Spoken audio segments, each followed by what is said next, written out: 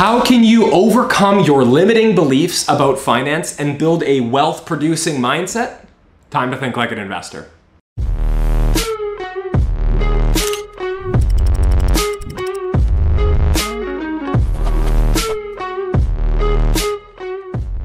Hello and welcome back to the channel. If you're new here, my name is Josh and today I want to talk to you about, you know, maybe the humanities of finance. Less about the hard math and the hard science of financial planning and investing and think more about the psychology because in my personal experience, if I think about my own life, you know, I had an experience in, in sports and athletics where we actually had a pretty solid volleyball team. I was a volleyball player and we had mental coaches. Our team was competitive enough that we had hired kind of a mental training program. And what I found was early in life, I kind of got wind of these ideas of visualization or you know opening your mind to thinking outside the box or getting in the routine of meditating or certain things like this which might sound a little hocus pocus but when we're dealing with financial planning we're dealing with investing and how to do things like build freedom in our life or accumulate wealth over time or find meaning through our money this requires not just a scientific math and science lens, we have to look at it from many different perspectives. You know, maybe a perspective of what kind of psychology or mindset should I have when it comes to investing or when it comes to finance. Now, one thing you might not know about me is that when I was in high school, I had gone into Google and I said, what is the highest paying job for the least amount of work? And I hit enter. And I, again, I don't mean to offend anybody who does this for a living or if your parents do it, but the number one thing that came up was pharmacist. Do you know anyone like that? And the reason I think it may have said that is because they make a lot of money or they make at least decent money and they don't actually do a ton of physical labor. It's mostly mental work. And I thought, oh, that sounds great. I'll become a pharmacist. I'll like do my four or five year degree and then I'm gonna make $120,000 a year and stand behind a desk all day. That's perfect. But what I quickly came to realize, this decision of becoming a pharmacist had nothing to do with my personality or who I was authentically. Everybody around me, from my parents to my siblings, knew there's no way he should be a pharmacist. He should be, you know, doing sales or out with people. But in my mind, I thought, hey, small amount of work, large amount of money. That sounds like the perfect equation. But over time, I got so lucky. And I feel terrible in a sense because I think there's a lot of people out in the world who kind of get forced into a career path because it sounds like the right thing or because our schools and education system only really show us that there's maybe five or six different viable career paths if you want to be successful. But I feel kind of bad that a lot of people didn't come across the same resources that I did at a young age, which expanded my mindset around my career and around my money, and kind of eventually took me from wanting to be a pharmacist to creating my own company and being an investor and getting involved with real estate and the stock market and building a financial advisory business where I help my clients do those sorts of things too. For me, one of the major things that I battled were kind of limiting beliefs. Things like, you know, money doesn't grow on trees, and if you want to become successful, you have to work very hard and get a university education and, you know, get a great job with benefits and work your way up the corporate ladder. These were kind of the beliefs that I had in my mind of, you know, there's a template life that I have to follow, and if I follow it well enough, I might become financially successful. And I think there's a few influences I came across that I really want to share with you to kind of bulletproof your mindset and your limiting beliefs around money. Things that will open you up to new ideas that might completely transform the way you see how you make money, how you spend money, and overall building a mindset that is more conducive to creating wealth. The first major influence that really hit me hard and kind of started to change the way I thought about money was a book called The 4 Hour Workweek and its author Tim Ferriss. And the title is kind of self-explanatory, but it's essentially exploring this idea, okay, instead of looking at what is the career I can do and can get a degree for and that will maybe allow me to buy a house and support a family, think about what is the amount of money I would need to have every single month to have complete freedom? And now how can I build that by doing something I actually enjoy? This might seem very straightforward, but the idea here is this. There are an infinite amount of ways to make money and they are legit, okay? As long as you have value to provide, you can actually create some sort of business as a single person that can float you through life and create an income that is enough for you to live off of. And some of the great examples that I heard in this book were things like somebody starting a company where there was like rock climbing glasses where they would allow you to put them on and you could see different angles. And it's like a cheap product you can build, put mirrors in a bunch of glasses, get them built in China or buy them off of Alibaba and resell them online. And there was a guy in this book who essentially built an income up to something massive, $5,000, $10,000 every single month, just by kind of thinking of an idea and within a year marketing that idea. There was someone who was really good with musical instruments. They sat at home and kind of recorded a bunch of samples and put them up on like a stock music site where people can like choose background music for a video. And he ended up making $20,000 a month off of these little MP3s that he'd make because he could record music.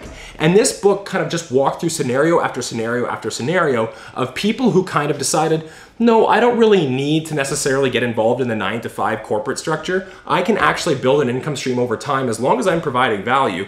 The internet allows this to happen. I can build something that I actually enjoy doing. And I think reading the four hour work week and listening to Tim Ferriss on this topic kind of took me out of the mindset that the only way to make a living was to get in a career path that's already established, when in reality, most of the freedom in life and the financial reward will come from stepping outside of that template. The next bomb that was dropped on me that completely changed the way I thought about a lot of things, which was an old classic that people talk about a lot. You may have seen it before. It's called Think and Grow Rich by Napoleon Hill. And it is a lot of hocus pocus. You may have heard of like the law of attraction or the secret, this idea that like if you visualize something every single night, it will naturally attract you. No, I think that's kind of BS. It seems a little crazy, a little too good to be true.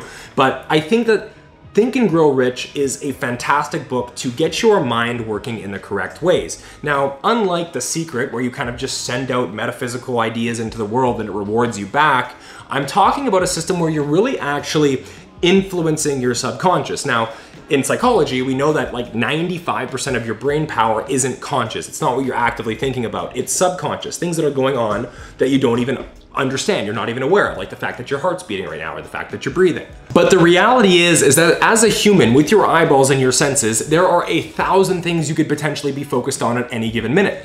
You could be focused on the computer screen in front of you, you could be looking at your phone, you could be looking around your room. There's infinite things that demand your attention at any given point. So your brain, knowing all of this, has to kind of use what you value or the things that you want to signal what thing in this room or what around me should I pay attention to. If you're massively hungry, you're going to see things different than somebody who is not hungry. Or for instance, you know, I'm with my buddies in the art capital of the world, which is Florence, and we have one objective. We're trying to find a pub. So we're looking around this whole town trying to find a place to sit down with the lads and have a few beers. But in reality, if someone was in my shoes and they were very fascinated with art, they would think I'm a total idiot because I am in the art capital of the world where I could look and notice an array of beautiful different paintings and sculptures, but I'm seeing the world in a completely different way because of what I value in that moment.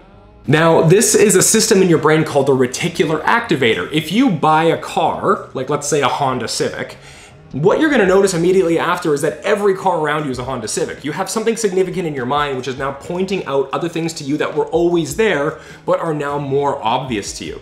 See, the crazy thing about this is humans, when we were building robotics and artificial intelligence, found that, you know, a robot can't really sit on an object that doesn't look like a chair, right? Like if you really wanna sit, anything could be a chair. This table could be a chair, the floor could be a chair, the hood of a car could be a chair, but for a robot, it can't understand that. It doesn't see values. Humans can see their values, the fact that I want to sit or the fact that I want to do something, and act on different objects to get that outcome that they're looking for.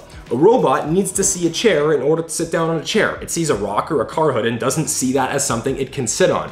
What I'm getting at is the way you choose your values and the way you influence your subconscious mind to point out different information in the world can actually lead you to the right opportunities. And if you're the kind of person who thinks, there's not really that many ways to make money, it doesn't grow on trees, I have to work hard and work an hourly wage, that is what your life is going to present to you. It's going to present to you a bunch of different job listings for nine to five corporate gigs, which is not wrong if that's right for you. But if you're someone who wants to try and build wealth, what you need to do is almost train your mind or train your subconscious to value wealth and to value money and to point out to you things in the world that might be conducive to actually pursuing that sort of path. So Think and Grow Rich is mind blowing because what it does is it presents you with a bunch of different strategies for how you can use repetition and visualization and how you can actually take something that you really want out of life and start putting yourself on a path subconsciously to achieving it.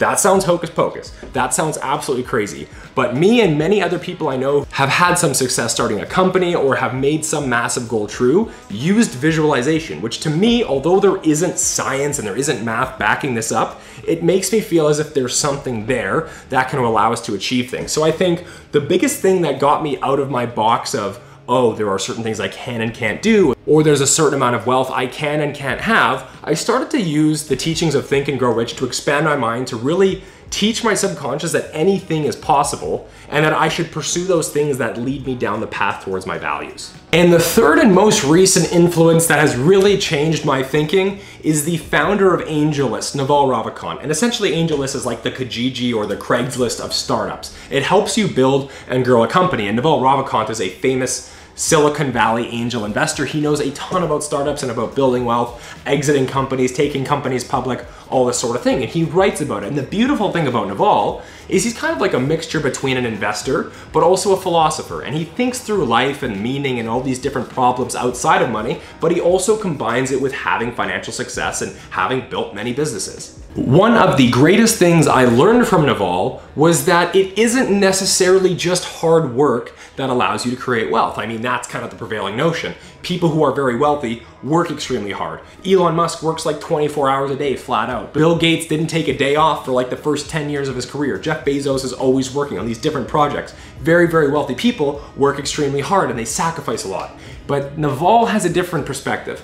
He believes that, well, you know, the person working at the corner store or you know the grocery store down the street that's a mom and pop establishment they work just as hard as elon musk. They work just as hard as jeff bezos or bill gates. Why is it that some other people get substantially wealthier? And naval says it's all about leverage. It's not about how hard you're working. It's about what levers are you using to magnify your gains. And he breaks it down into four different types of leverage. Labor capital, code, and media. And essentially what he's saying is if you want to actually grow a business, you have to use something like labor. You have to hire other people to provide value on your behalf. You have to get capital, maybe outside investment, or you have to borrow money or take money in from investors to build and scale something that magnifies your returns. That's leverage.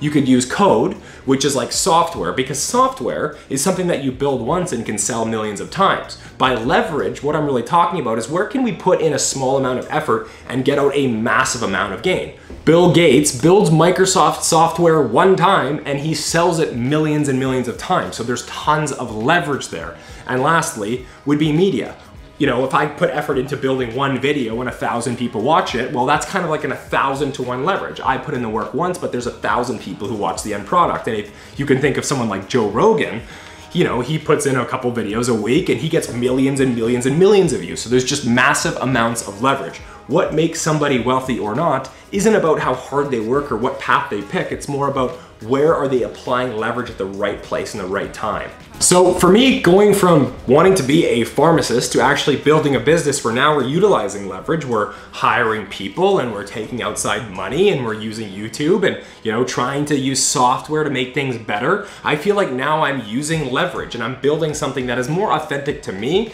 as opposed to kind of shoving myself into a job that I thought would have been right for me before. And I'm using these ideas like Think and Grow Rich where I'm constantly thinking about what my future values are and how I can work towards those. And a lot of the time, my subconscious points out things that are the correct path. It allows me to open one door and close another because I see and my subconscious knows what my values are and presents the world in that way. So anyways, guys, thank you so much for watching this video. Those were the three resources that allowed me to take a massive shift in my life and eventually put me on the track to somewhere where I feel like I'm building wealth and I'm getting ahead of my career and those sorts of things. So I wanted to share that with you guys. But anyways, if you got any value out of this video whatsoever, make sure to hit that like button below to support this video, hit subscribe, and turn on post notifications for more videos just like this one every single week. Until next time.